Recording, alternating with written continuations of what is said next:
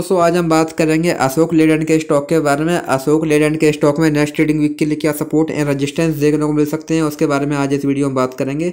हम अगर यहाँ पे स्टॉक की बात करें तो हम देखेंगे जो ये स्टॉक है, ये हमको हमको पिछले एक लंबे समय से यहाँ पर लगातार क्लियर डाउन ट्रेंड में देखने को मिल रहा था। हमको यहाँ पे स्टॉक में लोअर लो लोअर हाई वाला पैटर्न यहाँ पर देखने को मिल रहा था। लेकिन फिर स्टॉक ने यहाँ पर सपोर्ट लिया, जिसके बाद से अभी अगेन हमको स्टॉक में रिकवरी देखने को मिल रही है। लेकिन आज हमको यहाँ पर स्टॉक में अराउंड थ्री परसेंट की यहाँ पर गिरावट देखने को मिली है। यहाँ पर अच्छी बात यह है कि गिरावट के बाद भी जो ये स्टॉक है, वो यहाँ पर अपने सपोर्ट लेवल के ऊपर बना हुआ है।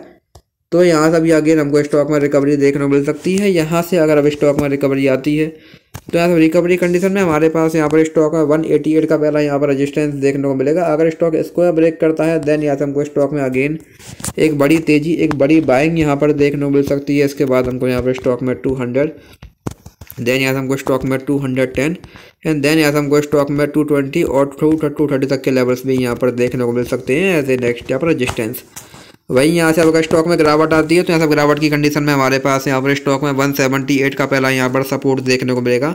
अगर स्टॉक इसको ब्रेक करता है देन यहाँ से हमको स्टॉक में 173 एंड देन यहाँ से हमको स्टॉक में अगेन 166 तक के लेवल्स भी यहाँ पर देखने को मिल सकते हैं एज ए नेक्स्ट यहाँ पर सपोर्ट तो ये स्टॉक में कुछ इंपॉर्टेंट लेवल्स हैं, आप इन पर ध्यान दे सकते हैं। बाकी वीडियो में कोई बाय सेल होल्डिंग सलाह नहीं है। वीडियो केवल एजुकेशनल पर्पज़ के लिए है। धन्यवाद।